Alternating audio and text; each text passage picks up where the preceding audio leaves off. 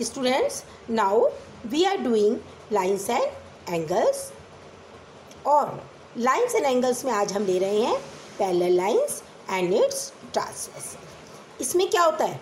Parallel lines में alternate angles are equal alternate angle हमारा Z बनाता है and pair of corresponding angles are also equal now अब इसलिए हमको गिवन है lines are A B and C D are parallel lines and EH is its transversal. Yes, good.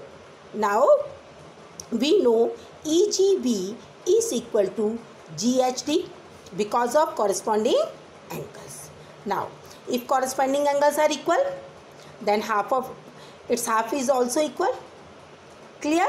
Now, but 1 and 2 is corresponding angles. So, GM is parallel to H भी ये vice versa होता है।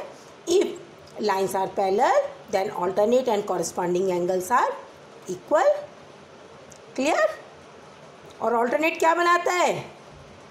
Z and this is corresponding easy clear अब if half of the corresponding equal to the other of the half of its corresponding angles तो अब उसमें क्या कह सकते हैं?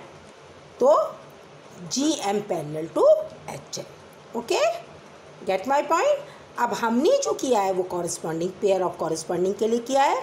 आपको होमवर्क में किसके लिए करना है? ऑल्टरनेट के लिए। मैं आपको हिंट देती हूँ।